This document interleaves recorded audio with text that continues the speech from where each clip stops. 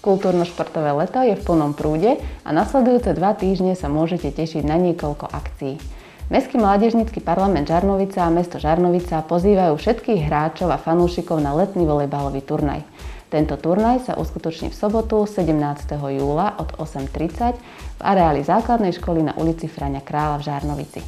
Štartovné je 30 eur za družstvo a prihlásiť sa môžete na mmpzarnovica.gmail.com alebo na telefónnom čísle 0949 242 993 najneskôr do 15. júla. Pripravené sú pre vás ceny a občerstvenie.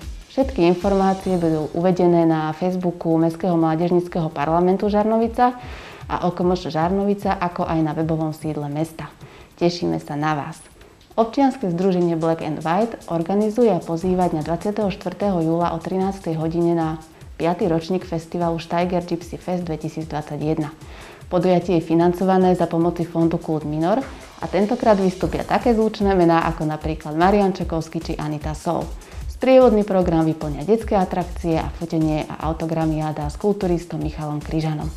Návštevníkov žiadame o dodržiavanie epidemiologických opatrení. Občianske združenie na záchranu hradu Revište a mesto Žarnovica pozýva všetkých nadšencov histórie na zážitkovú prehliadku, prehliadku hradu, ktorá sa uskutoční dňa 24. júla od 10. hodiny na hrade Revište.